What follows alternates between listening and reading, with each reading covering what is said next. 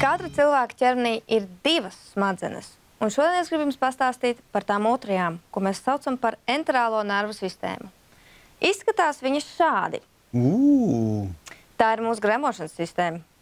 Viņa nosaka gan mūsu imunitāti, gan mūsu noskaņojumu. Un otrādi, mūsu noskaņojums nosaka, cik labi strādā mums zarnas.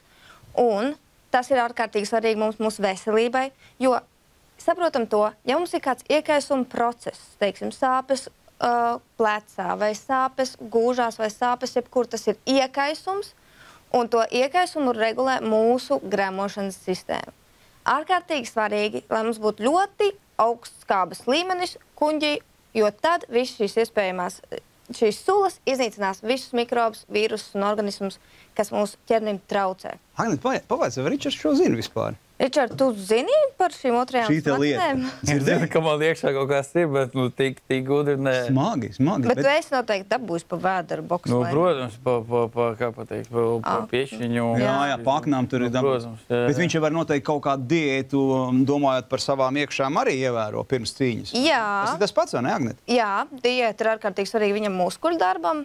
Un šodien es arī gribu uzsvērt to arī atjaunošanās procesi organismam kā tādam. Jo ātrāk viņš atjaunojas, pankūks ēd. jo ātrāk viņš nu, pankūks, nu, Tas, tas ir pēc, tāds tas ir pēc. Jā. Nu jā, atjaunojās. Ričards jau zina, ka pankūks jau nu, tas ir pēc, pēc. Mēs visi zinām, ka Jā. pankūkas un makaroni tas īsti nestimulēs to gremošanu. Mm Mhm. -hmm. ja? Gremošana stimulēs vairāk tādas lietas kā mm, citronu sūlas, ja? smilkšķerkšņu sūlas, visādas dārzeņi. Jo labāk gremojās viss, jo ātrāk mēs to pārstrādājam, jo veselīgāk mēs esam.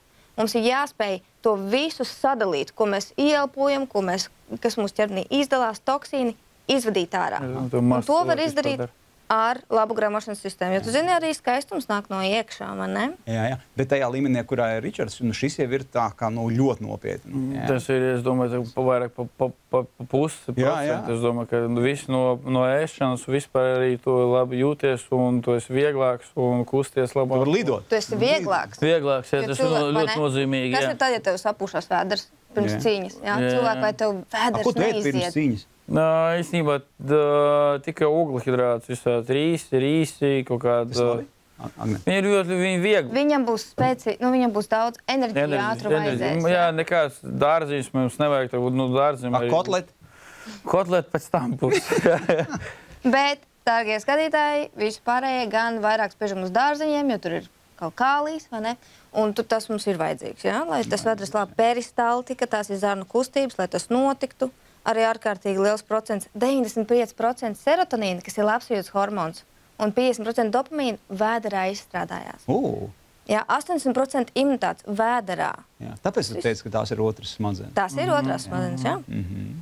Un mums tas ir vajadzīgs. Mums ir vajadzīgs ko, uh, atcerēties, kā uzlabot šo gramošanu.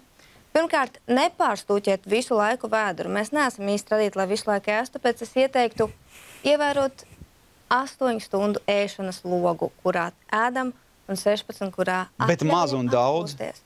Es ieteiktu vienkārši ēst kārtīgi. Piemēram, man brokastīs ir bekons, olas, avokado. Un nākamā ēdienreize. Nākamā nedēļa ir trijos, četros. To var izturēt. Jā. Mm. Nu, man, ir, eh, man ir sešos pēdējā ēdienreize. A, kā, kad tu ēdi pēdējo reizi? Pie televizora. Tagad, Es pat, tagad, tagad pateikt, kad nav cīņa. Kad nav cīņa, jā. Kad nav cīņas, ēdu desmit reizes pat vairāk. Pa dienu. Visu laiku. Jā, es visu laiku Nu, ēdu. tā- Bet, bet kā tu vari aizmigt? Labi, viss kārtībā. Ar smaidu.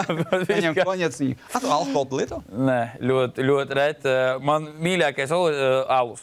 Jā. Vispār. Nu, O, ļoti reti. Bet kā alus palīdz ā, šajā gadījumā visām šajām otrajām ka, es zinu, smadzenēm? ka muskuļus uh, atslāb. Pareizi? Tāpēc, ka viņai ir B vitamīna, jā, Jā. jā. alu. Jā. Nu, Alu ko ir B vitamīna, viņa labi nervu sistēmai un līdz ar to, Jā. bet uh, viņš ir rūkstošais. Atkal, ja cilvēkam ir pārlieku lielākais un procesa sāpes un tā vis kaut kur, tad viņš labāk izvēl, izvairīsies mm. no alkohola. Bet, nu, Ričardam tas kuņģis izskatās tik spēcīgs, jā, Jā. būt Kā tu zini, ka viņam Nu, spēcīgs? Tāpēc viņš var visu, pār, visu var pārvarēt, visu var izēst. Viņam ir veselīga sejas, āda, viņam ir laba krāsa, dzīves acis. O, Lūpas ar arī ir, sportu. lūpas ir uh, sarkanas, jā, a, tu kārtīgi. arī uzreiz tu pamani. Protams, es visu skatos. Mm. Pēc ieraugu cilvēku. Sieviete. Sievietes, jau. redz. Ne tikai, bet viņi fizioterapeiti atcerēs. Jā, Es tas pirmais. visiem Es, jā, viņš, skatos es, es, es dzīvoju ar, ā, ar medmāsu. Viņa vairāk skatās arī, kā izties, ka, ko sāp, nesāp. Viņa pē- pēdējo laiku pēdējo tikai paskatās, smūgs vai nesmūgs. Okay. Lūk, tā kā mīļie skatītāji, atceramies, ja mēs gribam uzlabot mūsu labsajūtu, mūsu domāšanu, un, ja ir kādi iekaisuma procesi vai sāpes, sāciet ar pievēr, pievērsiet uzmanību savam vēderam, jo tās ir otrās smadzenes, un viņš jums daudz ko var pateikt priekšā, un daudz ko var jums palīdzēt. Kā Rūpēties par savu vēderu, un tiekamies nākamajā sižetā. Armand, pasaka, lai skatītājs spiež patīk un subscribe mūsu kanālam. Kas, kas subscribe?